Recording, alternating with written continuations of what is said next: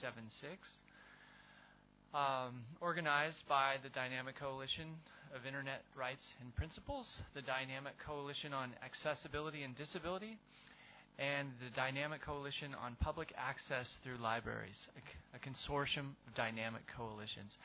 My name is Robert Bodle, Professor of Communication and New Media Studies at the University of Mount St. Joseph and Miami University in Ohio, United States. And I've been active with uh, the IRP since 2008.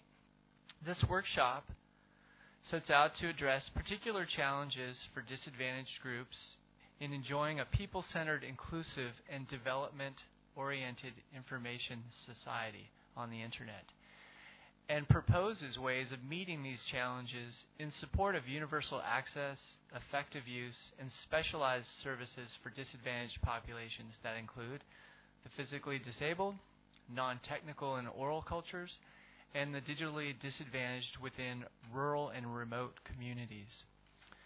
This workshop is part of a nexus of interrelated workshops building on the charter charting the charter workshop that took place yesterday and feeds directly into the workshop tomorrow uh, toward the IRP Charter 2.0 Human Rights and Principles for the Internet in practice at 9 o'clock in room 9. Uh, please come join us then as well. I'm very happy to introduce our distinguished panelists. Uh, I'll start with Stuart Hamilton, Director of Policy and Advocacy at the International Federation of Library Associations and Institutions, IFLA, who will also co moderate with me. Uh, next, I'd introduce Catherine Easton, a lecturer of law at Lancaster University, and her research interests include internet governance, domain name regulation, intellectual property, and access to technology and human computer interaction. On my right here is Konstantinos Komaitis, policy advisor at the Internet Society, focusing primarily on the field of digital content and intellectual property. Uh, to my left at the end, uh, Yulia Morenets uh, is uh, a member of the NGO Together Against Cybercrime. She's also an IGF MAG member uh, and focuses on access of marginalized groups at the European level. And then on my far right, uh, Nadine Moawad who is presenting in place of Jack Simkey, uh, Association for, for Progressive Communications. And remotely is Jim Tobias, who is president of Inclusive Technologies, which provides free and paid consulting services to companies, public agencies, consumers, researchers, purchasers, and policymakers on how accessible and usable technologies can better meet the needs of all users, including users with disabilities and elders and we have Deirdre Williams as our remote participation moderator.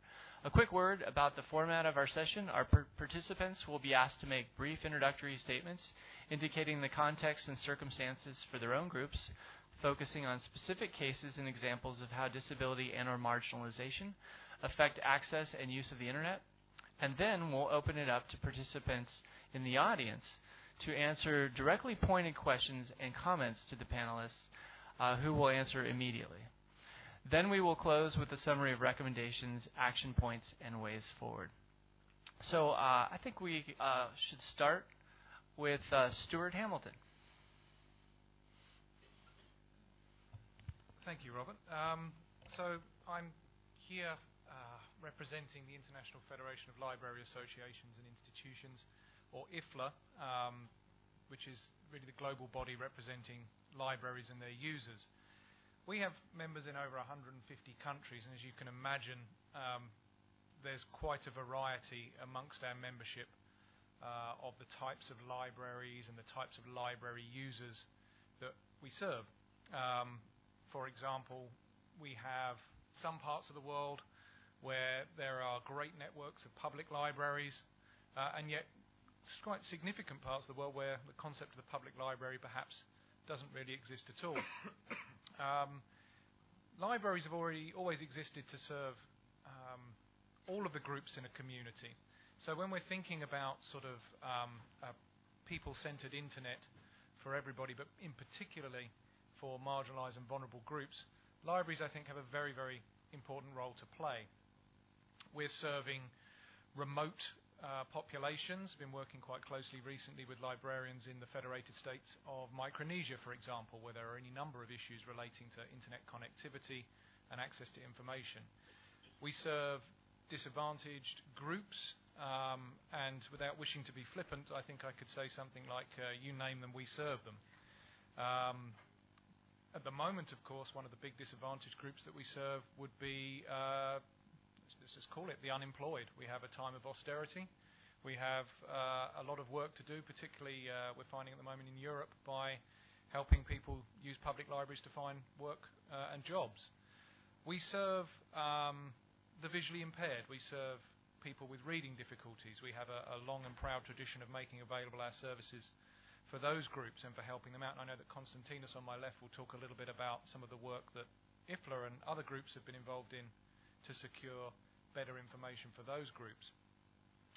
Um, I think one of the things I just want to talk about very quickly in my opening statement would be, um, from a librarian's perspective, what are the what are the elements of a human-centered internet and information society? And I think in some respects, I've got the easiest job by going first because I think I can just state for the record a respect for human rights. Um, Article 19 is one of the guiding principles of librarians worldwide freedom of access to information, freedom of expression. We would want to see that front and center for any information society that looks at helping marginalized and disadvantaged groups. We firmly believe that there should be public access to ICTs uh, in the community so that everybody can benefit at free to very low cost. And uh, IFLA has been involved in an initiative called Beyond Access. Uh, you can find out more at beyondaccess.net, which uh, looks very closely at the role that public libraries can play in providing access in the community. With access comes training. Uh, media and information literacy will be a key element, uh, we believe, in any people-centered internet. And libraries, of course, have a long history of, of being able to provide this training at the community level. Uh, I think we also need to think uh, in flexible terms. I think sometimes when we're at the IGF, and particularly when we're looking at new technologies and how they can help the marginalized and disadvantaged, um, very often the word mobile comes up as if it's going to solve everybody's problems. Um, I think we really need to be uh, aware of a, of a, much bigger approach to this. We know, for example, through our research that uh, in South Africa, where there's a huge penetration of mobile phones, um, there is still a great deal of need for traditional PC access, for example, in order for people to get the information that they need. And we see that in other countries as well. Um, just quickly, a couple of other things I think I'd want to throw into the mix. Um, open access to things like government data so that we can actually help our marginalized groups become engaged in sort of civic participation processes, um, and engage more in the democratic processes in their countries, and access to accessible format technology. And again, I'm going to, to leave that to Konstantinos to talk about it. And then just quickly, how do we actually get round to making this happen? Well, from our perspective, we need more cross-sectoral uh, cooperation. Uh, we particularly want to see uh, a dynamic whereby governments and policymakers work with development organizations and practitioners and libraries to solve some of these problems because I think with those three groups together, we're going to end up with quite a formidable partnership. And already I can share information uh, through the Beyond Access program on how that's happening in countries like the Philippines, Georgia, and Peru.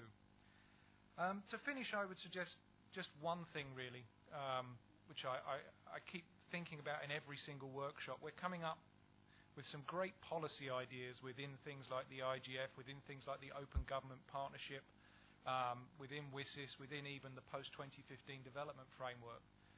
But unless these policies consider what we might call last mile delivery, bringing the benefits of the policies to the people in the community, then I don't feel that we're going to make much process, uh, progress and these things will remain just words on a page. So it will come as no surprise to you that I think that libraries can play a great and positive role in bringing the benefits of our wonderful new policies on these issues to the people in the community who need them most. Great. Thank you, Stuart. Uh, it seems like a natural progression uh, to now go to Konstantinos. Thank you. Uh, Hello, every, everyone, and thank you for the invitation. My name is Konstantinos Komaitis, and I am a policy advisor uh, at the Internet Society. So uh, I would like to talk a little bit about uh, the Internet Society, uh, a non-governmental organization uh, that was established in 1992, uh, and one of its key uh, missions is to make sure that the Internet is accessible by everyone, and that users around the world are able to um, engage uh, with the tools and the various platforms on the internet uh, and be able and uh, reap all the benefits. That, of course, includes disadvantaged people, and actually, more importantly, includes disadvantaged people, because when we're talking about that the internet has no barriers, we're not only referring to geographical barriers, we are also referring to barriers concerning uh, the, the ability of people to um, get access uh, to the medium. So accessibility is a key issue, and uh, accessibility should be at this stage, and uh, as we start discussing today those uh, issues, just bear in mind that accessibility is uh, means no discrimination in terms of access at a very high level, and also uh, issues of inclusiveness.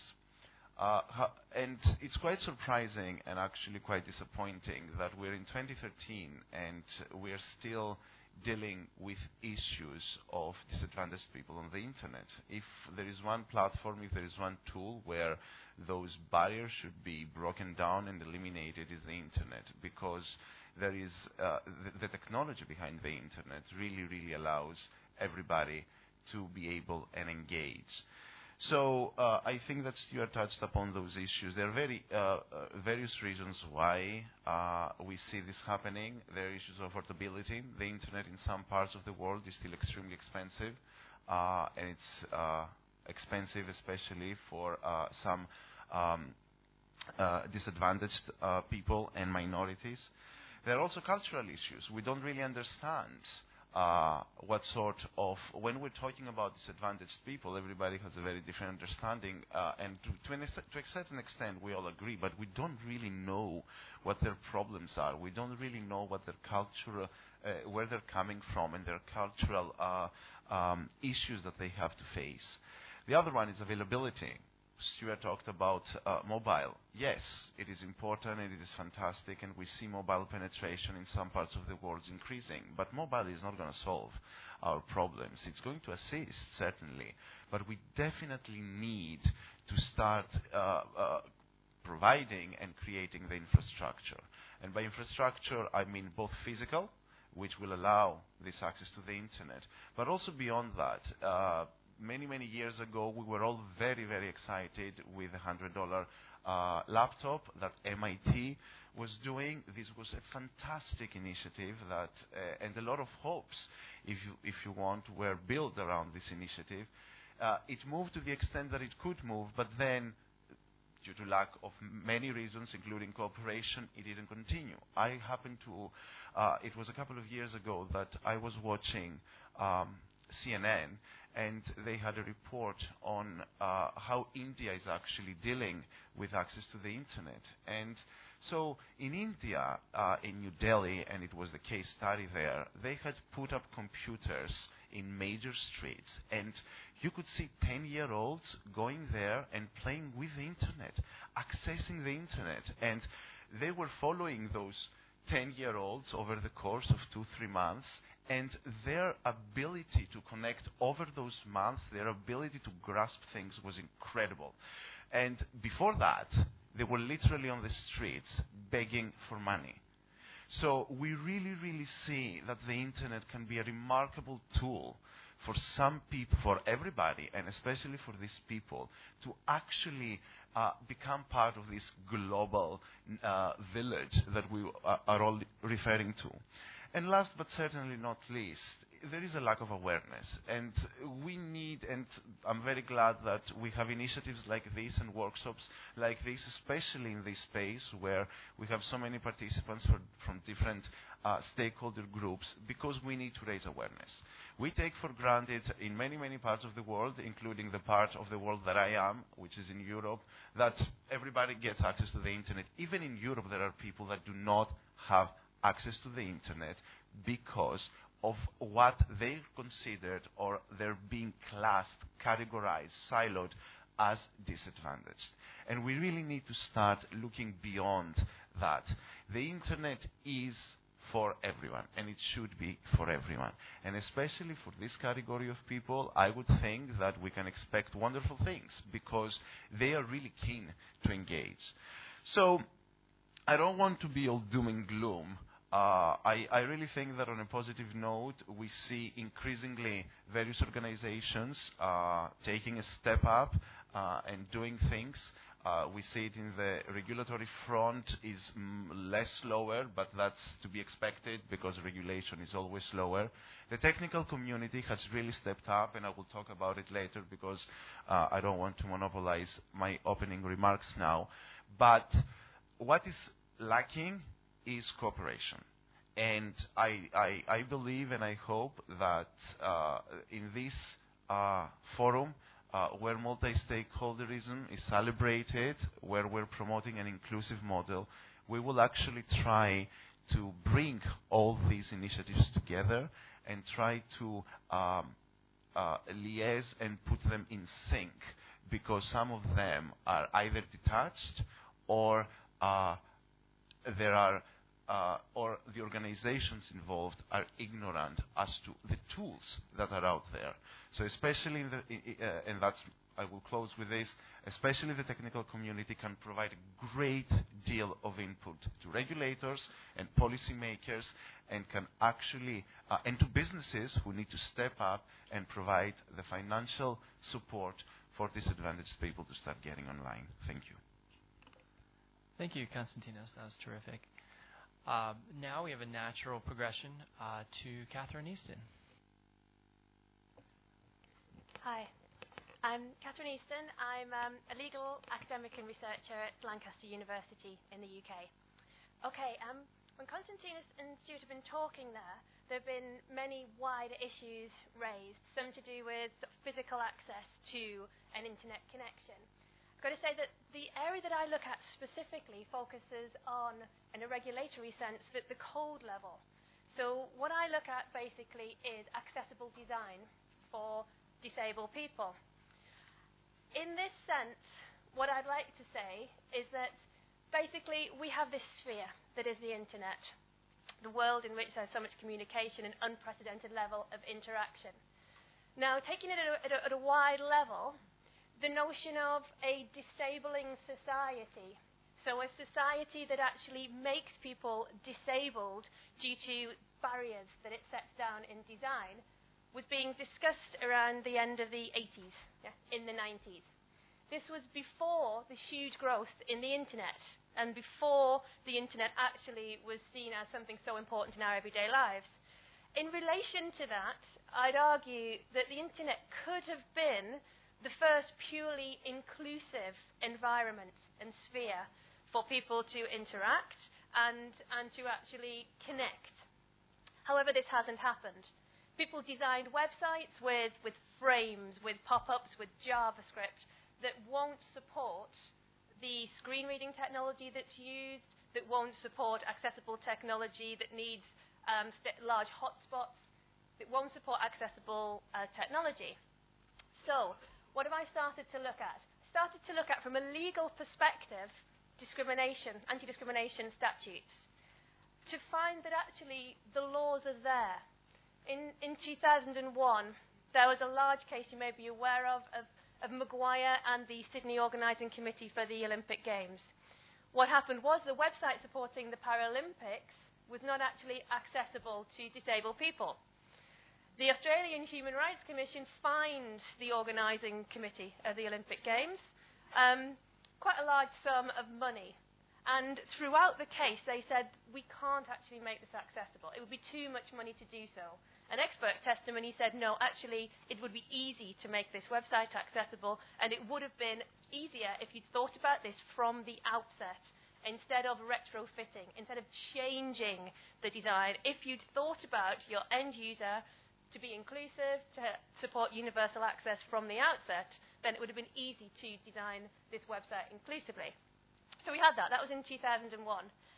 a recent EU report stated that across the European Union, in private sector sites, there's 34% of compliance with um, accepted accessibility standards. Um, and in public sector provided sites, so in e-government sites as well, there was about 44% of compliance. So actually, the public sector, the governments of EU member states, the European Union itself, aren't providing accessible websites, even though their laws mandate this. Okay. Two. Yeah. So, what's the difference here? Why, why is this happening? What I'm fascinated to look at is the difference between the actual substance of the law and the reality of inaccessible design. Quite a few different themes come out. One would be standardization. We now have the the Web Content Accessibility, Content Accessibility Guidelines, which are moving to, which are now an, internet, uh, an international standard. They have been developed through a process um, followed by the W3C. Now, this process might be criticized in some way, but I believe that it's a very positive move that these standards are now being seen as the actual ideal standard for accessibility. Another area that we look at is the public-private divide in relation to accessibility. We have governments that are trying to move more and more of their services online.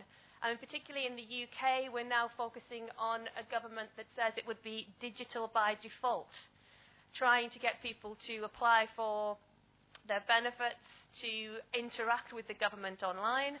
But actually, a lot of these sites aren't fully accessible to disabled users. And finally, we have the international level that I like to look at. So the Convention on the Rights of Persons with Disabilities, the UN Convention, actually specifically enshrines a right in its Article 9 to accessible technology. Now, the way in which this convention actually sits and interacts with governments and its, its signatory parties is to have a need for focal groups to be actually developed within each of its signatory parties. So I'm hoping that this particular convention, with its specific enshrining of the right to accessible technology, will actually bring about tangible change. This is the last thing oh, I want to mention is that I've carried out quite a lot of empirical work looking at website designers. What are their actual approaches to the notion of accessibility? And what you do find is a real fallback on normalcy. So designers are often able-bodied white males who perhaps have not got the end user in mind when they are designing these websites. And what I have found quite worryingly is a response that actually says, well, when you talk, when you talk about accessible design, you're thwarting our creativity. We want to design interactive sites that move and have colors. And actually, to have it be accessible, you're making it boring in a sense. And I think that takes away a lot of um, the, the, the, need for and the inclusive nature of the internet. Now, finally, what I would like to say is I'm doing quite a lot of work trying to push designers, governments, and particularly private businesses, towards the need for accessible design. And one of the things I'm finding is that money talks in this area. In the EU, we have the Accessibility Act that's going through. Um, and also, a lot of the actual legislation linked to accessible design does not link to the general anti discrimination polic- policies and legislation provisions, but to the the internal market provisions. So the provisions which actually talk about buying and selling and making money. And there is a huge market. We're looking at about 80, 80 billion euros was actually estimated at the, at the market that disabled people have in order to, to buy services, to, to, spend, to spend money in the European Union. And then at a private sector level, again, when there's been large-scale redesigns of private sector sites, the traffic has gone up. People have spent more money on them. More people have actually engaged with them. And it's getting this message out to bring about change. It's what, that's what I'm here to talk about. Thank you, Catherine. That was terrific. Um, I'd like to now turn to Yulia Morenets. Thank you.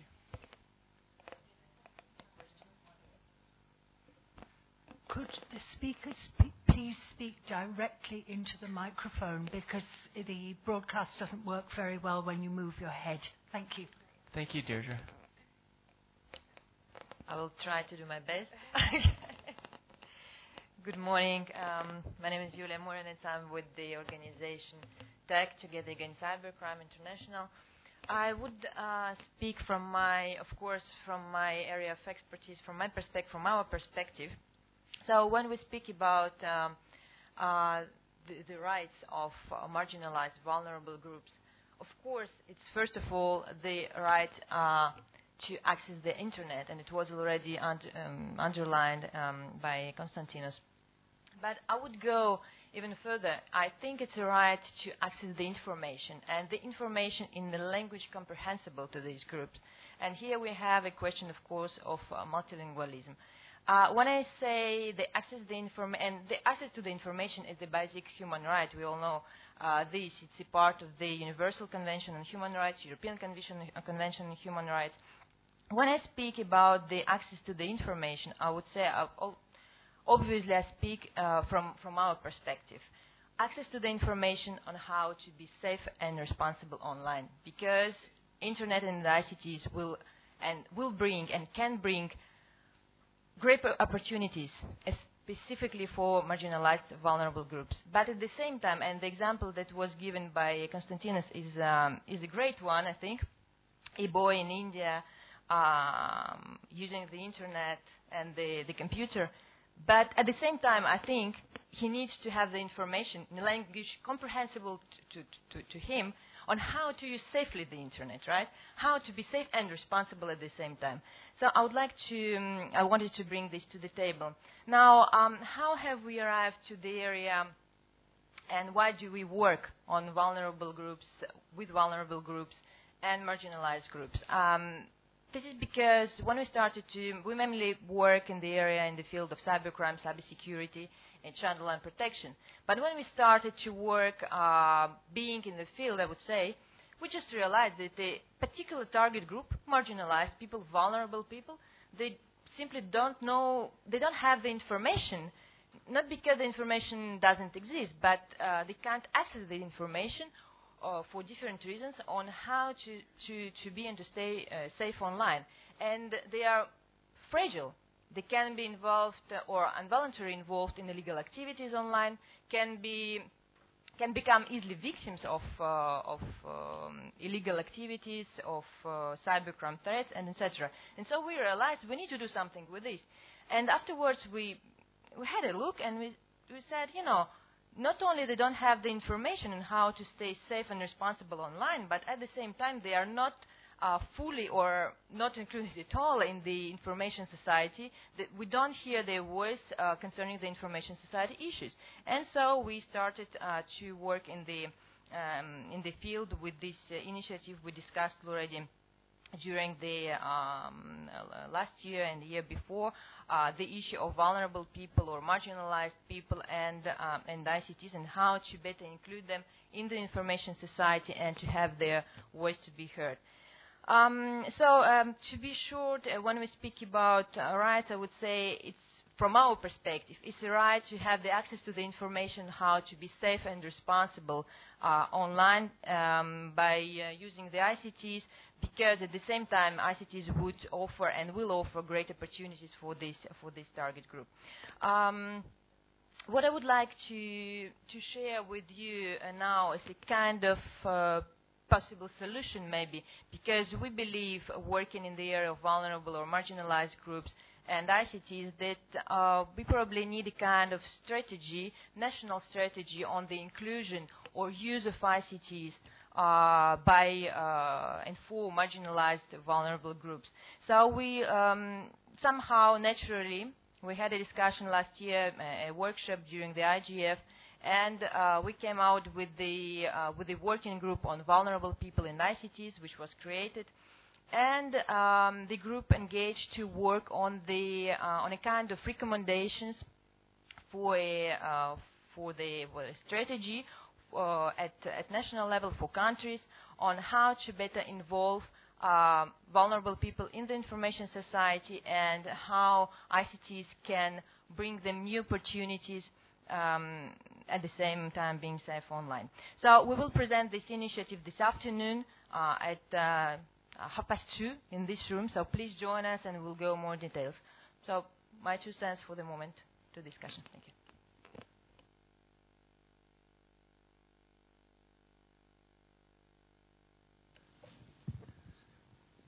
Great, thank you, Yulia. Uh, we're now going to turn to Nadine Moawad. Thank you.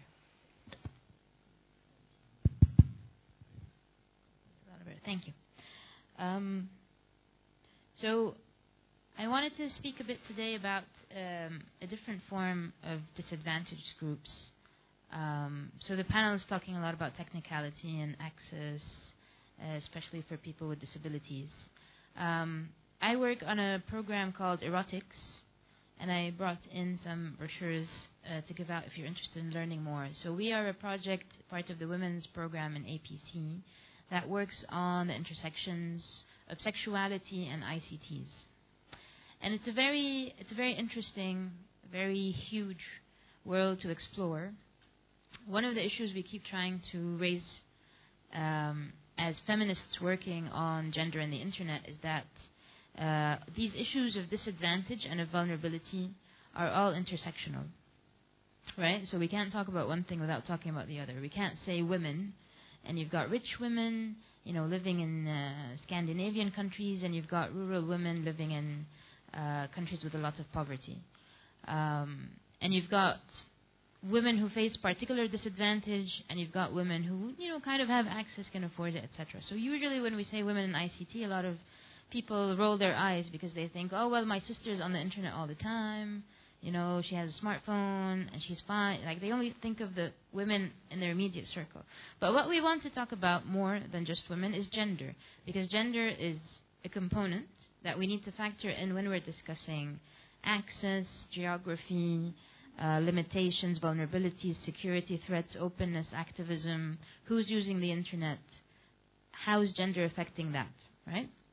So when we think also of people with disabilities, with hearing impairments or visual impairments, or uh, lack of mobility access. You know, almost all the research always says that women with disabilities, in particular, face double the discrimination, right? Because they not only um, have to overcome the disabilities, but they're also women, so they're more inclined not to use uh, the technology, or they're forced not to be, um, you know, as as mastering of the tools as, as men are. The same, th- the same way that when we talk about uh, people without access who can't afford it, so where internet is super expensive, or where internet just, you know, there's no access, there's no infrastructure, in these communities as well, women will suffer more than the men. Because if the internet does come to some town or village, it will come first for the men and the brothers, and then for the sisters and the women. Right? So that's when we talk about when we talk about factoring gender in. Um, to, add to that as well, uh, most of the work that we do is targeted spe- specifically at uh, sexual minorities and sexual rights activists. So we look at people who are working on um, access to sexual and reproductive health and rights, uh, LGBT activists working on equality and justice for lesbian, gay, transgender, and bisexual communities around the world. We work on, with women working on access to safe and legal abortion. Uh, we work with uh, um, people, young people trying to put sex education content on the internet. Uh, and people trying to reimagine what does it mean to talk about sexuality. Because we always imagined you know the same way that the disability rights movement imagined that the internet would be such a breakthrough space right for people with disabilities and that was the initial thinking. Um, and you know it's going to be awesome but actually what happened is that people got left out because we didn't think about it as much. And it was the same for sexual rights activists. So in the 90s and 2000s there was an explosion of people who wanted to talk about sex in ways that they couldn't talk about in offline spaces because of all the censorship and the regulation and the taboos. So they made use of things like anonymities and chat rooms and places to connect to sort of edge their way into public consciousness using the internet. And you see what it did for feminist movements and for gay rights movements and what a huge push uh, it gave those movements, mainly because of privacy and anonymity and and the ability to, to really uh, have a battle from sort of a safe distance, um, arguing for sexual rights. So, um, right now around the world, uh, we recently did a survey with sexual rights activists, and uh, when I hand these out to you, you'll see some of the results in the survey in here. We asked uh, close to 400 people from really everywhere in the globe um, about monitoring and regulation and, and access and discrimination that they feel they face online. And there were uh, two kinds of discrimination. So there was the things that you face everywhere if you're gay. So, uh, or if you're talk- if you're a woman, young woman talking about sex or sexual rights, you face it everywhere, and you also face it on the internet. Um, and there were types of, of threats that were very particular to the internet and the sort of intrinsic to the technology. So the, the the one stat that I find super interesting is that 99% of the people surveyed, uh, the sexual rights activists, said that the internet is absolutely crucial to their work. Right? 99%. So, you know, almost everybody. I don't know who that 1% is and why it's not crucial. But they said it's important to the work that they do, right? They can't do the work that they do without the internet. And the work that they do is really important, right? Because they're helping, uh, they're getting, uh, you know, promoting health and promoting uh, human rights and promoting dignity for a lot of people around the world. Um, so if we recognize that the internet is super important, we need to recognize that we want to eliminate all the discriminatory factors um, that sort of put these people at a disadvantage in accessing, but also in, in freedom of expression and talking about their issues and talking about their rights. Um, and Bishakha is with us, and maybe Bishakha, you can make a, a small uh, comment afterwards um, because she runs a project that talks specifically about the intersection of sexuality and disability because often we don't think of people with disabilities as you know sexual beings or, or wanting to access information about sex or or any of that. Um, but to end uh, you'll see in the results of the survey and you can go to um, a website and one of APC's websites is genderit.org and read the full results and see the amount of people that have documented threatening messages, violent messages, stalking, cyberbullying, um, uh, because of the type of the work that they do. And these are the things that we need to think of how do we reduce them to give more empowerment and enable more people to use the internet without discrimination. Great. Thank you, Nadine, for deepening and broadening the discussion. Uh, can we now turn to Jim Tobias remotely?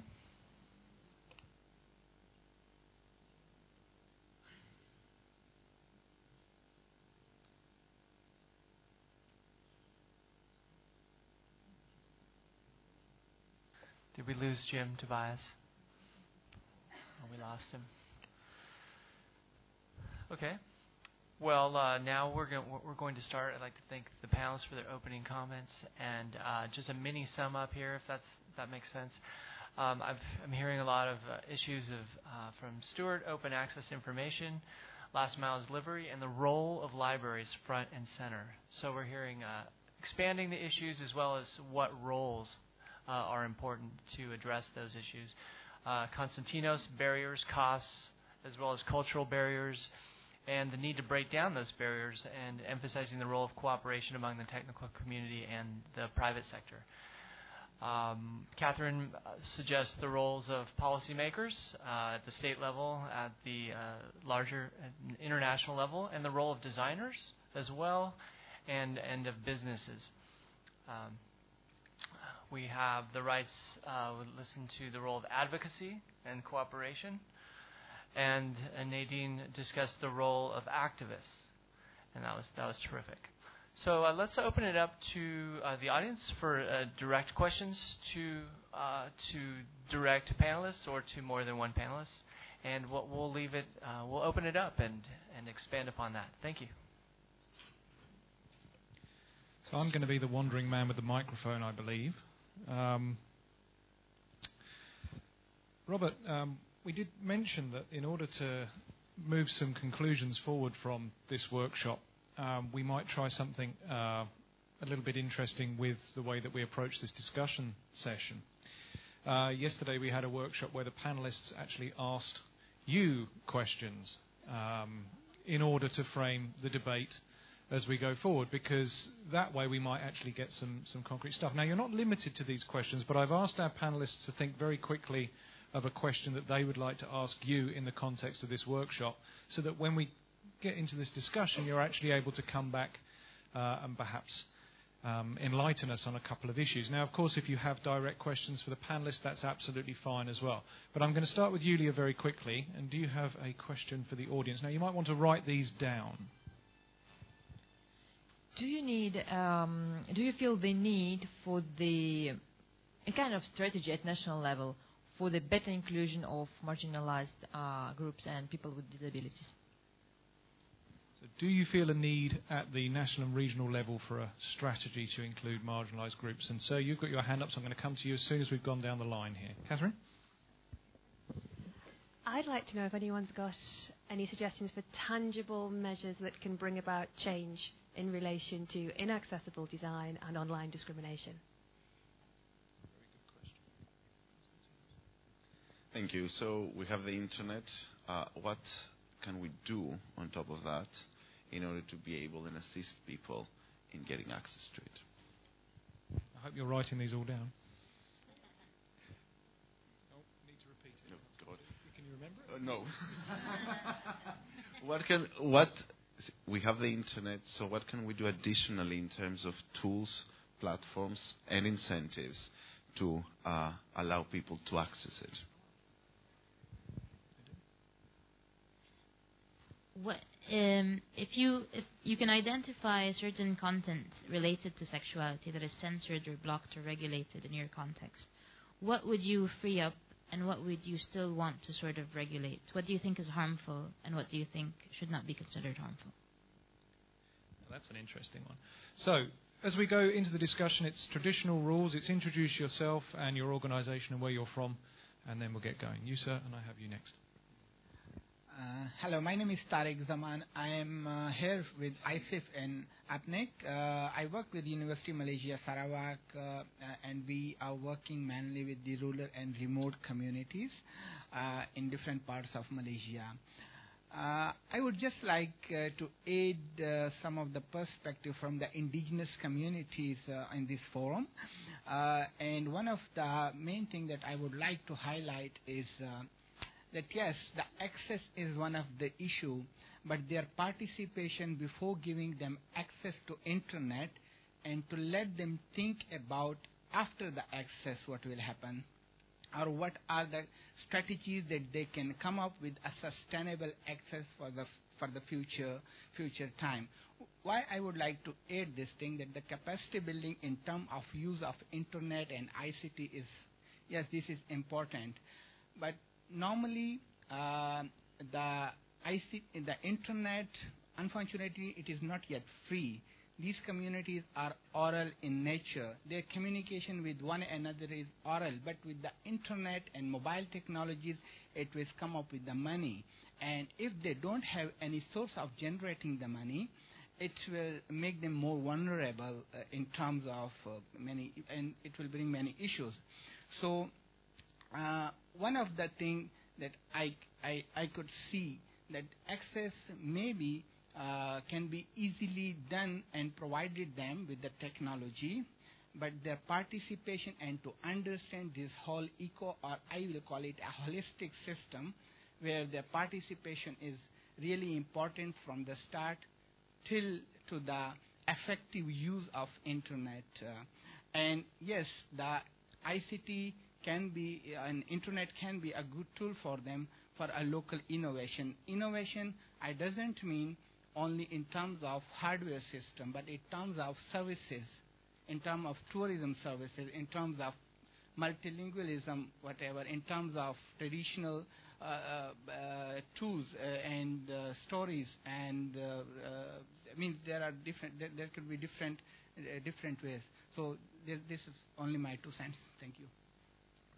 So panelists, hold some of those thoughts because we'll come back to them, and I think we'll take two questions or two comments here, then we'll go back to the panel, and then we'll go over there. Thank you. I'm Jutta Kroll from the Digital Opportunities Foundation in Germany, and I wanted to answer to two of the questions. First, with regards to accessibility, Um, we are following an, in a new project which is called Cloud for All, a new approach which is based on accessibility provided via the cloud, which means you can have your individual preferences all stored in the cloud, and then when going to any device, like you, you're asking me, maybe your smartphone doesn't work, could you borrow mine? And then you get your your individualized interface on my sw- smartphone just when you start using it because it's coming from the cloud. And you can do that with any device. If you go to an ATM, for example, or a ticket machine anywhere in the world, then it could work. I have to say it's a research project, so it will take several years till we are there at that situation. But what we've learned from the first piloting sessions with people with disabilities is that it can work and it can be beneficial, especially for people with disabilities. And then it could be a step further with accessibility, where we so far face like the problems you've you've been describing for the Paralymp- Paralympics website. And then to the question from Julia Morenets, um, we are also running a project which is based on working with libraries all over Europe, which is called Digital Literacy 2.0. I've spread around some of these envelopes with an invitation to that project because um, the idea is that usually in libraries people are, are going there to obtain information, but also there is kind of a threshold that especially disadvantaged groups in some of the European countries do not want to go to the library because of fear that they don't fulfill the expectation they have to bring in there. And so uh, it's trying to, to lower this threshold and telling people that with Web 2.0, with social media, it's so easy to get involved with the internet. You don't have to subscribe to, to long time taking courses or something like that. Just come in and try out these little steps to, to learn that the internet can play a role in your daily life, even if you are a homeless person, for example. You can go to the library and have these little steps. And that might be an, an easier way because people are reluctant to, to commit themselves to courses or something like that. But if they had, have this small experience that it can really help them, then it might, their interest might grow and they might become motivated. Thank you.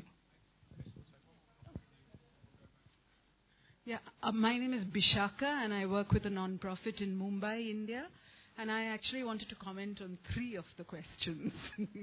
okay, so one is the, you know, the disability and strategy. Actually, I wanted to link those. So we run a site called sexualityanddisability.org, and what I find interesting is that, you know, um, like we worked with a developer that specializes in making sites accessible to the disabled.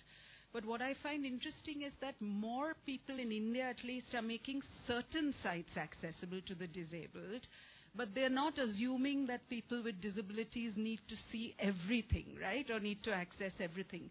So there's a little bit of a sort of divide there. And I certainly think that, and we do that too. We run a bunch of sites, and still we started sexuality and disability, it didn't occur to us that we should also make our other sites accessible. So we are in the same boat, to be honest. The, to link it to strategy, I mean, I think it's a good idea to have some sort of strategies to include marginalized groups, but I think what's important is that those groups play a role in setting the strategy. And also sometimes what happens is, you know, I just got an email, sometimes strategy becomes a sort of way for sort of a heavy funding push with very, very sort of short-term goals, right? So I just answered an email about a grant proposal, which is a six-month thing to work with cell phone operators to provide access to women.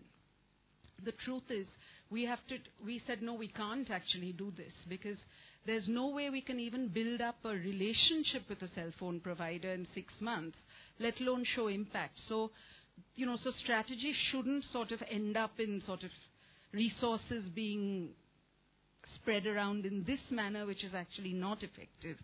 And uh, also in terms of, I think the one really big hidden disadvantage is actually language. And so if you were to imagine the people who come to our sexuality and disability website, because it's in English, they can still sort of get some information, but think of the person who's disabled and speaks like, you know, the thousands of other languages that are there in India. Frankly, they have practically no information at all. So I think that's a big barrier. And finally, in answer to Nadine's question, I definitely think that we should really not rely on a policy framework that looks at pornography or sexual content as intrinsically harmful. I don't think it is. Okay, so let's go back to the panelists for uh, some reflections on um, on what's been said so far, and then I'll come back to you, Irmgarda. So, Catherine first, then Konstantinos. Hi. Um, if I could just make a few points to link the, the two final questions there. I think a key issue and a key theme to, to look at here would be universal access.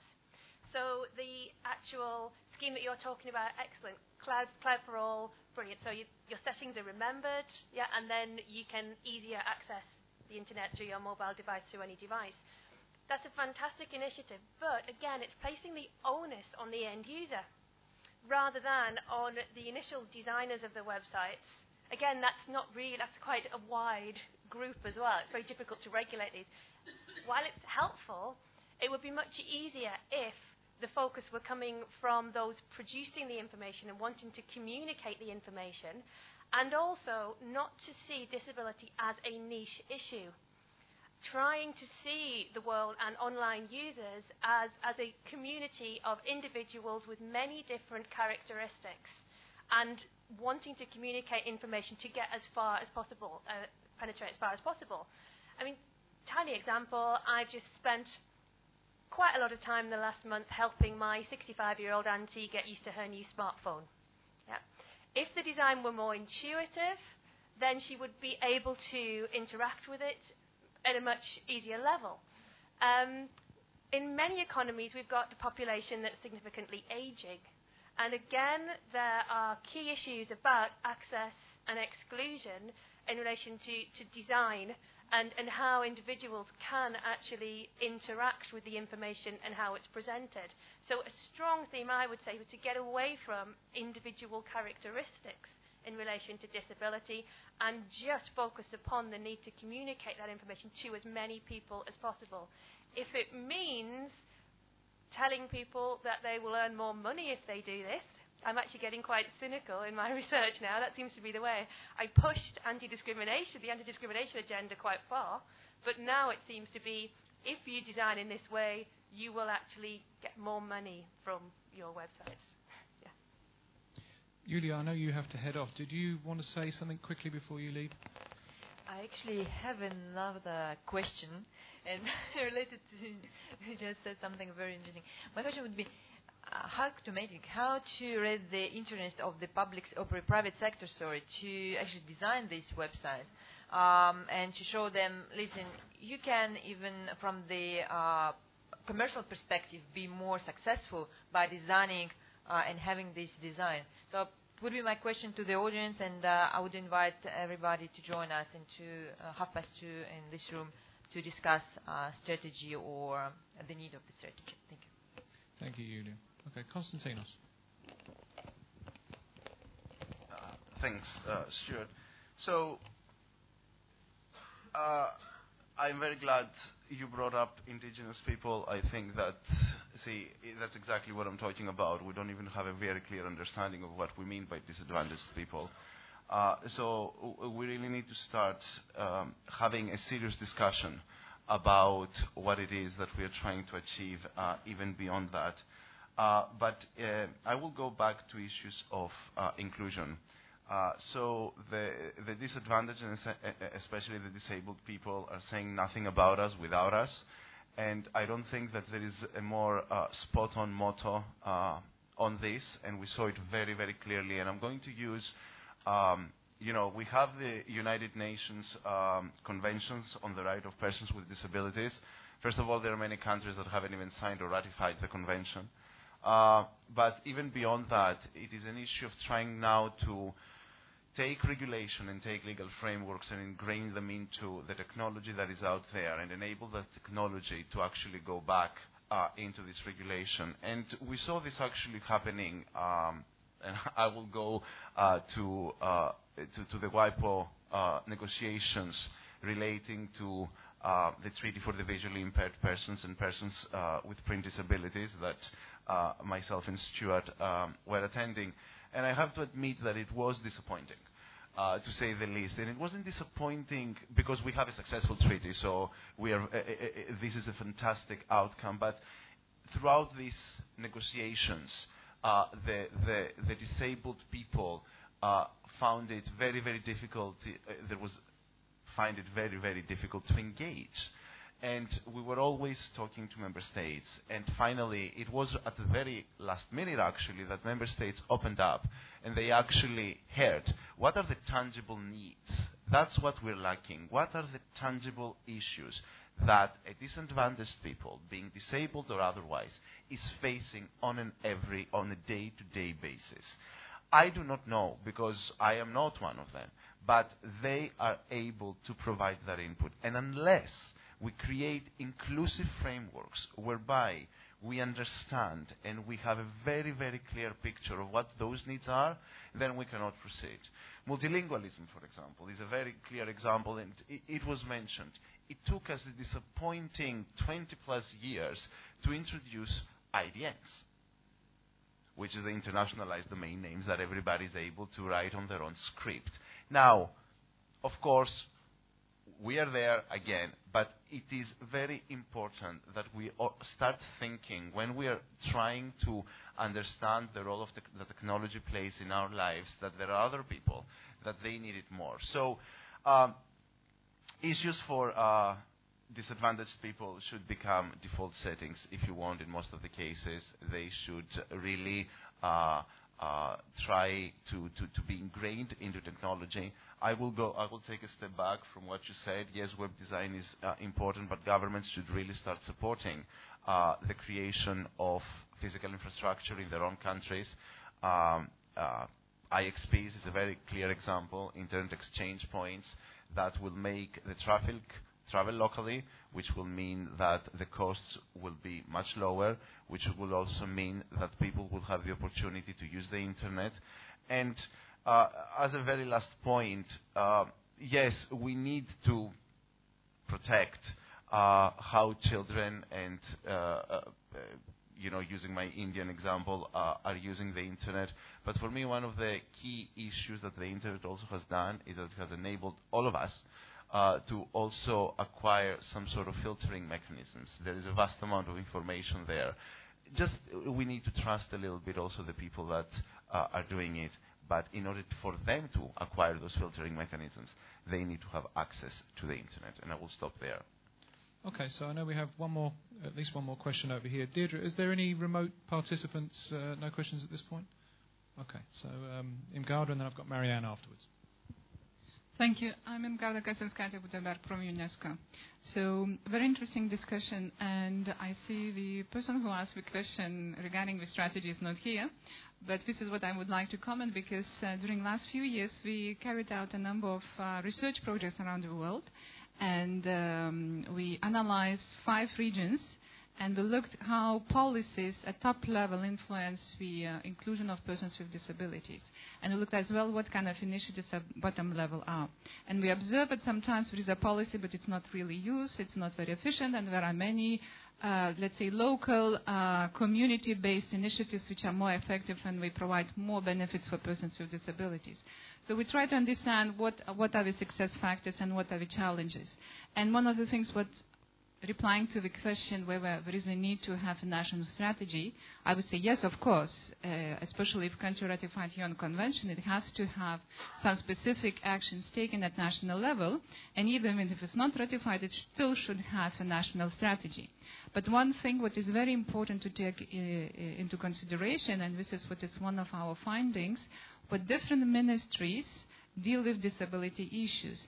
And if you really decide to formulate a national strategy, don't decide to do it only at, let's say, with uh, social inclusion ministry only education or technology. What we observed, for example, there are a number of initiatives where um, there are good things done by Ministry of Social Affairs. And at the same time, Ministry of Education decides to purchase X number of PCs for classrooms. And uh, we could as observe as well that there are a lot of uh, specialized schools were shut down, were closed, so most of the children with disabilities who could go to mainstream education were now included. And we don't have assistive technologies. Teachers are not trained.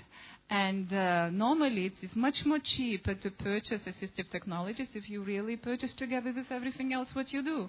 So these kind of things really reduce the benefits, and at the same time you could see that there is no coordination between ministries.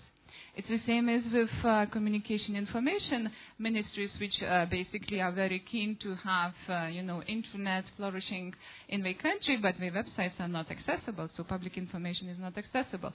So that is one of the po- uh, findings what we uh, what we discovered from different regions. Basically, it's more or less systematic. What uh, ministries do not work together, and usually those issues are dispersed among different ministries. I have one question, very specific question. It's actually there is a need.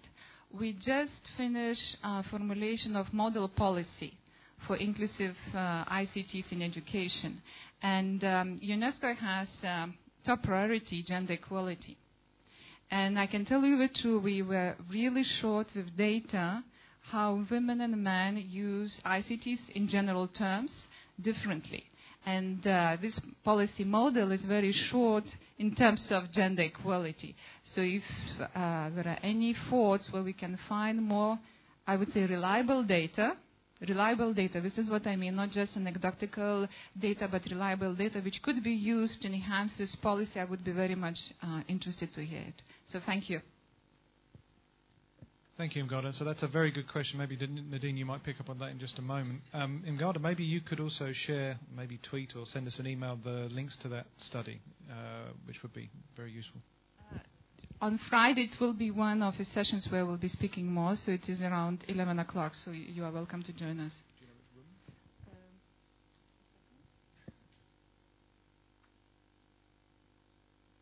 Um, room 5. So there's a plug for an additional session for those of you interested there. Marianne, I know that you, I'm sure you've got comments to make. And remember to introduce yourself. Yes, um, good afternoon, everyone. I'm Marianne Franklin. I'm co-chair of the Internet Rights and Principles Coalition, which, of course, Stuart and uh, Robert are also involved with. Now, in terms of disabilities, this conversation is very important because in the Charter of Human Rights and Principles for the Internet, we have a clause 11, 13 which directly relates to the Convention of Rights of Disabled Persons. It is simply a beginning. But the thing is, my point here about the questions that we've been getting is how can we be specific? And what tends to happen, it's about technology, the latest generation of computers, the latest generation of data storage or the cloud being the answer to the problems. The problems are not technical. The problems are political, they're economic, and they're social. So we need to turn the conversation around just as the Charter tries to frame these very technical issues in a human rights perspective, quite specifically, not generally, we need to turn the conversation around. So, my question back to the panel is specifically examples of how you get technical communities talking to disabled groups. And to think that my mother at 82 is now disabled because she discovered when her operating system was upgraded that she couldn't find her Skype access, so now we can't talk to our mother. She's fed up, she says. She's a very. So you become disabled after a certain age? This is completely wrong. So, how can we get the technical solutions thinking first the needs? How do you get techies to talk to the groups? And I think that's how do you get them to see that there are creative ways to design? And my point is there are people doing this, hackers are already creating tools and platforms to help disabled. And uh, come to our workshop tomorrow at 9 o'clock in the morning. yes, we're taking plugs for everyone's workshops as long as you ask questions and respond. Nadine, I wonder, would you say anything to Irmgarda's point, and then maybe Catherine, you might want to pick up Marianne's point. Yeah, I want to plug in our book launch over lunch.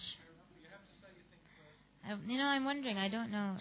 Uh, I haven't thought of this question in a long time. How do men and women use the internet differently? I doubt that we would find any research, any hard sort of data that tells us something that that is not sort of like an essentialist approach, right? Because I don't think they use the internet differently. I think your gender um, results in you facing particular challenges of using the internet, right? And also intersectionality again, right? Always intersectionality. So it's not just you're not only either a woman or a man. Your your socioeconomic class, your able-bodiedness or not, your sexuality, your where you're from, the global north, global south, etc. So so we're all a lot of things. And I think what would be more interesting for me is to look at and certainly the women's rights program at APC has has done a lot of this research, and I'll be very happy to, to share it with the with the, the UNESCO group working on this. Um, but it, it tells us things that I think are interesting in terms of removing the barriers and empowering the marginalized groups, rather than what is intrinsic about. It's for me, it's like asking how do Indonesians use the internet differently than I don't know people from Switzerland, like I don't think there's a different usage. I just think there's a different challenges or, or access issues or something like that. And we do have a, a launch of our GISWatch, a latest report over lunch, if you'd like. I think I've opened the floodgates with my uh, thing. Catherine, uh, do you have anything to advertise, or can you just ask a question? Sorry, I've got nothing to plug here. I might just answer some questions. Um, I'm completely fascinated by, by the point that was made here about different ministries taking different approaches. I did some quite early research about seven years ago on UK government departments and their approach to accessibility. And you are so right, it was the social and community departments that seemed to have policies in place in education. But then, bizarrely and quite crucially, um, as was uh, then the, uh, the Business, Industry and Skills Ministry, um, had very few set policies in relation to, to access and inclusion. And obviously that is a, a crucial area um, of, of the government's role as well. So again, it's, it's kind of reflecting this idea of, of disability as, a niche, a niche area that only needs to be addressed in, through certain particular measures, yeah, certain areas such as communities social social areas rather than um, things such as even even defence, um, industry, these kind of things. Um, looking at, at Marianne's point here, um, I'm quite in favour of using the law in order to actually take forward regulation, um, take forward, cha- make change and take forward regulation, and talk about turning the conversation around. Um, within the UK and quite a lot of EU member states, there has been a focus on trying to get, in particular, public sector websites to be accessible. And quite a lot of these policies, I know the UK does and Spain do, um, reference the W3C Web Content Accessibility Guidelines. And there are targets set, and there are um, different layers, levels that should be achieved and still change is not happening. It is very, very difficult to get the designers, even within a arguably controllable sector such as the, the public sector, to think about who is actually using their end product. They communicate the information and do not think about the end user. Quite often they rely upon technical testing using electronic tools to talk about accessibility and don't actually interact with with disabled people. Now, the Convention on the Rights of Persons with Disabilities was actually drafted in a very innovative way, and it had high-level participation from groups of disabled people, and this was part of its um, focus in drafting. Now, at a UK level, we've not actually put this into our specific legislation on accessibility. However, the Accessibility Act at a European level, which to be honest, should have been passed in summer 2012, but is still stalling, has a strong focus on participation and people with disabled people actually talking about experiences and feeding into the process of access. So I think that that's, that's a huge way of, of bringing about change, but it's not yet trickled down where I am in the, in the EU. It's not yet trickled down to, to the national policies, and, and it should. Um, just before I stop, I'd like to say thank you to Cynthia for, for your tweet about um, creativity versus accessibility, um, which was basically saying that if people can't be creative and accessible, then they're not very creative in the first place. Thank you. So I'm also a panelist here, so I'm going to take the liberty to jump in because I think some of the things that Irmgarda said um, are things that we've been paying attention to in the in the library community. Um, the kind of importance of the joined up thinking, the example you gave of some departments moving in one direction and, and others in another, certainly from the library's perspective, as we've moved through the whole WSIS process, um, and we remember back in 2003, 2005, with the sort of the heady rush of new technology and a, and a big kind of rush to find new things to implement the new technology. Um, we've always been slightly concerned that that governments and policymakers weren't taking advantage of existing institutions. Um, and we've got over 330,000 public libraries worldwide. And you know, there was a slight rush at some point to bring in the telecentre movement, some of which has been very successful, others of which have had less sustainability. But this entire infrastructure of public libraries that exists within government budget lines and within existing policies really needs to be taken advantage of, particularly in relation to giving access to disadvantaged groups. And then just to pick up the um, the point about data on, on how people use the internet, well, actually, in the libraries, people are coming in using the internet all the time, and we've had some very big studies um, over at the uh, the University of Washington in Seattle has looked at public access to the internet through um, various sort of community institutions, and I think there's some data in there that you might find useful.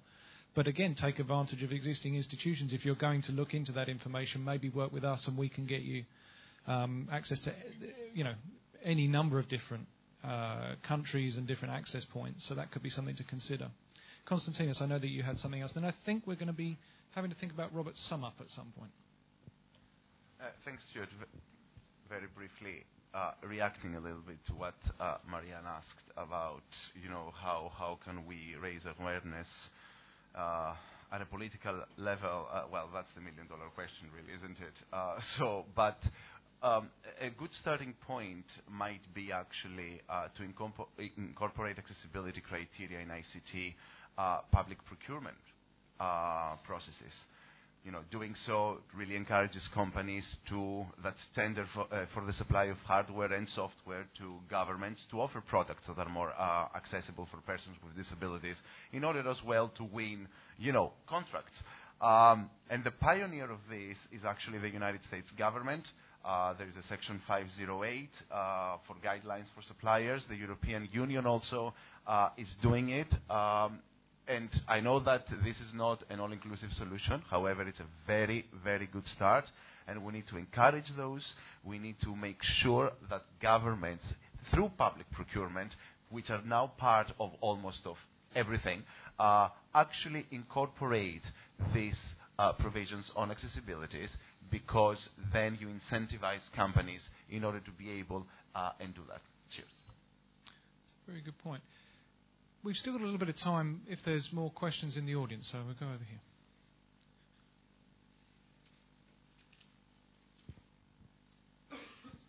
Hi, I'm uh, Niken from Indonesia, and uh, regarding to uh, the question about uh, how uh, women and men use ICT differently, I I used to do uh, research in telecenter in the rural setting in central Java.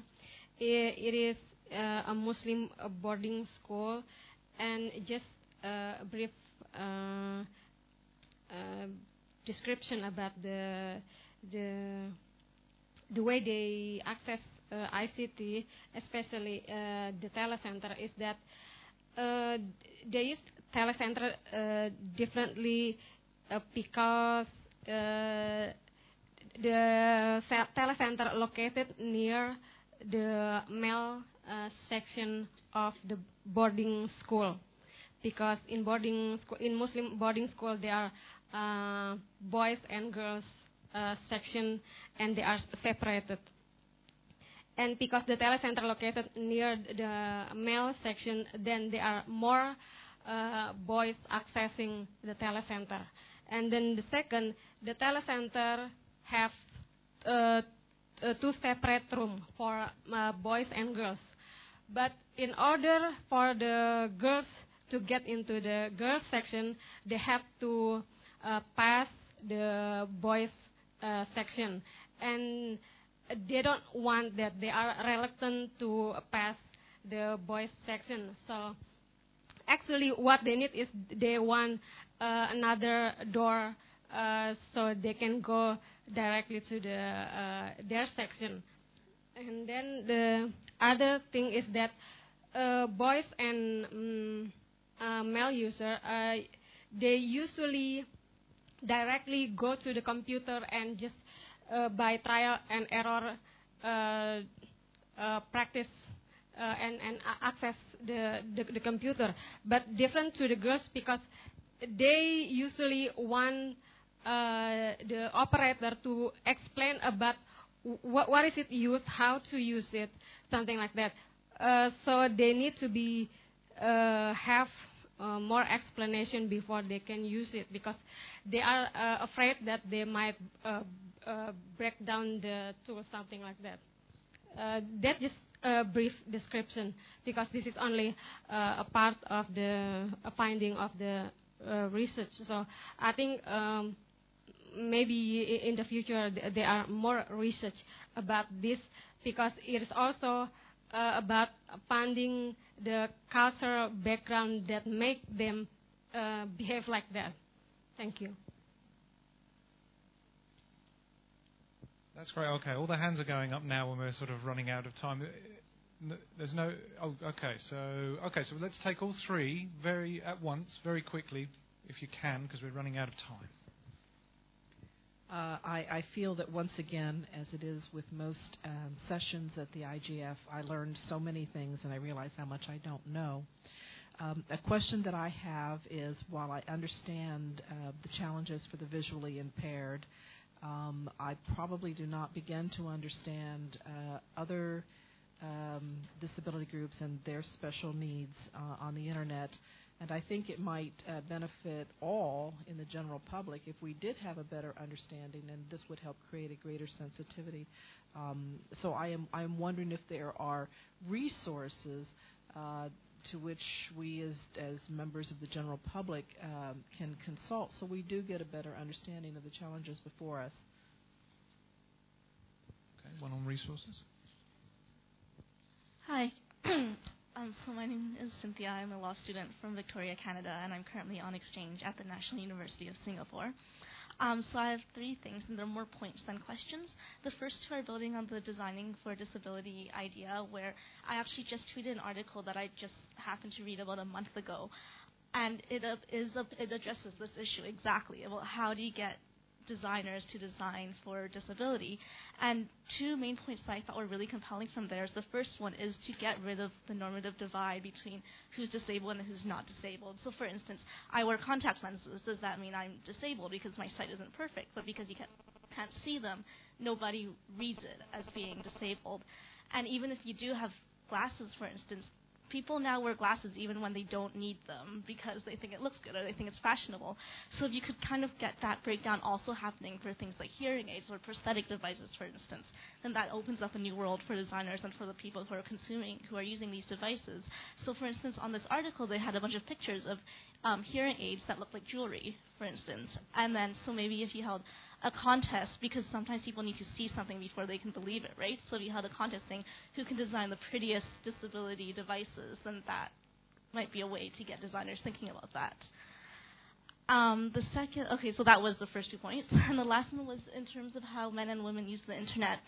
There isn't, I don't know anything about data or if anything like that is out there, but just for information on a more anecdotal level, there are a lot of articles out there online about people who have gone online um, as the other gender and then writing about the experiences that happened to them. And this goes back to what Nadine said about facing different challenges.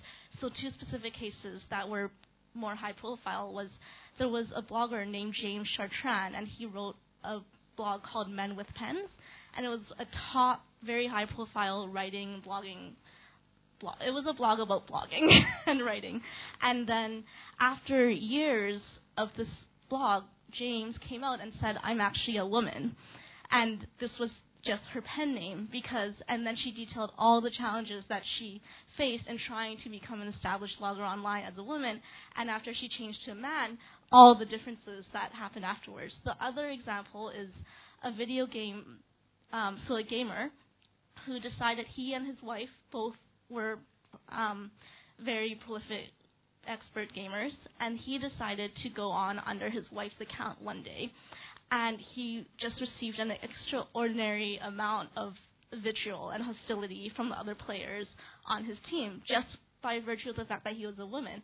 And then he, who is actually apparently a better player than he is, and then when he showed that he actually had, first of all, they were complaining because they thought this player would bring the team down.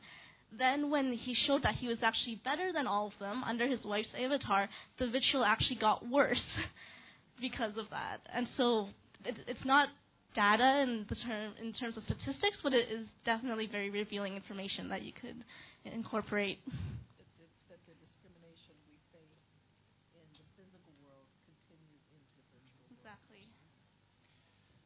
So we're going to go to Deirdre, and then I think we'll go. I'll go back to Robert. How you want to handle the wrap up? Thank you very much. I'm Deirdre Williams. I come from St. Lucia in the West Indies, and I would like to identify myself as an end user because I think the end users are very often severely disadvantaged. Everybody forgets about them in a flood of technology. In this particular case, um, I want to make uh, a plea for the fact that if you are remote, you are disabled. This morning we had a remote participant. He was there, but it, it wouldn't work. I'm not trying to criticize the technical people who've been working really hard to make things happen, but surely if the internet can do anything, we keep talking about a global village.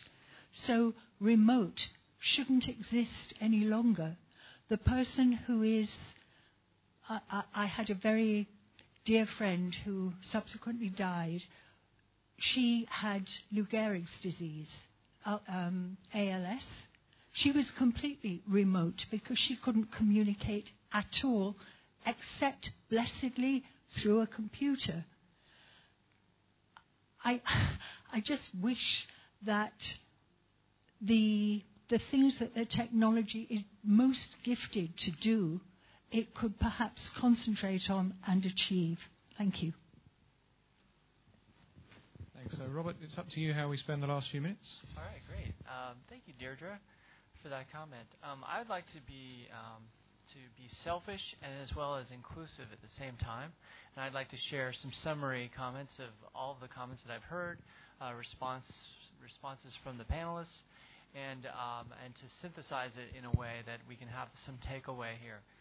So, uh, just some in terms of some summary comments, um, we've been defining who is marginalized and how, what actors are needed to be part of the solution, and strategies for moving forward. So, first of all, defining and broadening the understanding of disadvantaged groups, and informing the definition of inclusiveness uh, to include, for example, gender and sexual minorities, indigenous populations, oral communities, the homeless, youth, remote participants, and the elderly. Uh, identifying the role of users, uh, end users, as um, part important stakeholders to be involved from the ground up in discussions about and in research and in design of accessibility technology and policy to in order to identify tangible problems and solutions and to identify the needs, in Marianne's words. Uh, we also uh, have the notion in terms of strategy uh, or of understanding how these, these actors can work together is the notion of intersectionality that Nadine uh, offered. Uh, problems and solutions intersect among marginalized groups, and the solutions, uh, I want to emphasize, can intersect as well. and I think Stuart mentioned, ca- called that joined up thinking That was a term that was used.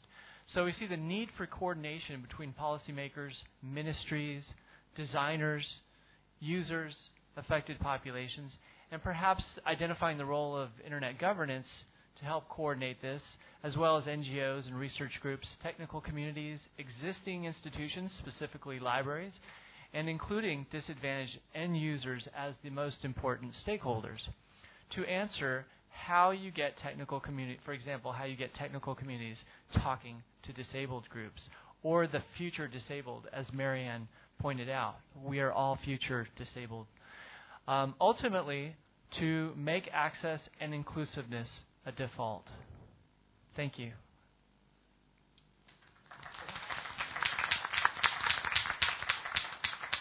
I forgot about the plug. Um, I'd like to see you all tomorrow morning at 9 o'clock in room 9 uh, to discuss the IRP Charter 2.0, Human Rights and Principles for the Internet in Practice.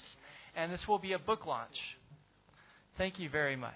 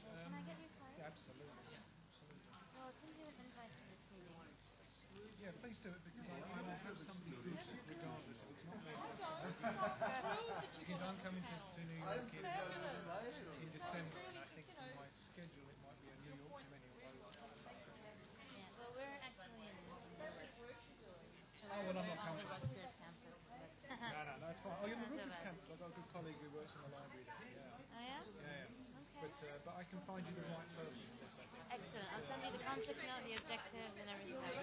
Thanks so much. Oh,